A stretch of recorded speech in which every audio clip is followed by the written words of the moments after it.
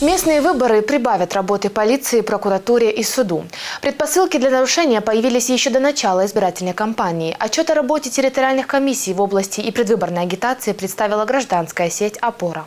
Первый звонок перед началом избирательных фальсификаций уже прозвучал. По новому законодательству гражданин может на время выборов поменять место проживания и соответственную регистрацию с правом голосования. Зафиксировано массовое переселение избирателей. Причем по одному адресу регистрируется гораздо больше граждан, чем поместится в квартире.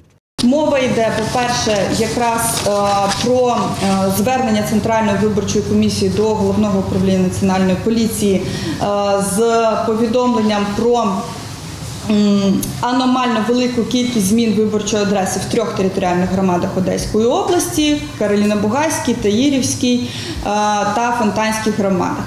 Таировская и Фонтанская комиссии относятся к недавно образованному в ходе административной реформы Одесскому району. Вторая проблема – предвыборная агитация, которая возможна только после регистрации кандидатов и партий и начнется с 15 сентября. Фактически рекламные конструкции со скрытой агитацией установлены месяца два назад. Особенно выделяется городской голова Одессы.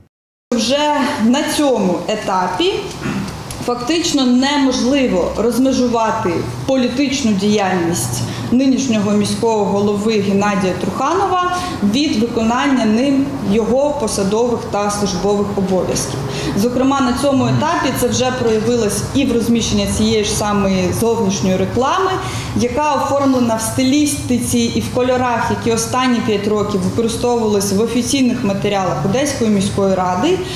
Але з іншого боку містить напис політична партія довіряй ділам, оскільки е, особа, яка займає посаду в даному випадку обрану проте посаду міського голови, отримує неспівмірно великий ресурс для додаткового впливу на виборів е, на виборців. Обновленное избирательное законодательство усложняет процесс соблюдения законности и в другом направлении. Избиратели получат 4 бюллетеня. Один, как обычно, по выборам городского головы. Буде три бюлетені за депутатів. Це депутати міської ради, це депутати Одеської районної ради. У нас з'явилося таке новоутворення Одеська районна рада, яка е, об'є- об'єднує себе тепер е, колишню Авідіопольську, Біляївську раду міста Одеса. Ну тобто така велика Одеса, умовно кажучи, і е, Одеська обласна рада. К чему приведет новое административное отделение, неясно. Пока есть одни проблемы, существование которых избиратели узаконят своими голосами.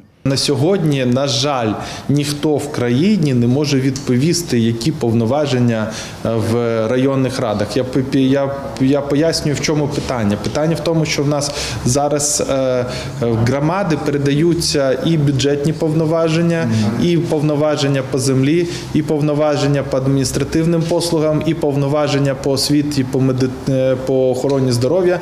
Що залишається? Ну тобто е, держава по максимуму вже все передало в, об'єднані громади. Якась частина повноважень залишилася в, обласних і в е, радах, і поки що в обласних державних адміністраціях. А що в районів ніхто не знає і ніхто відповісти не може. Це бардак насправді, на жаль. Гражданская сеть «Опора» предложила претендентам на посты городских голов в области подписать кодекс этического поведения в ходе избирательной кампании.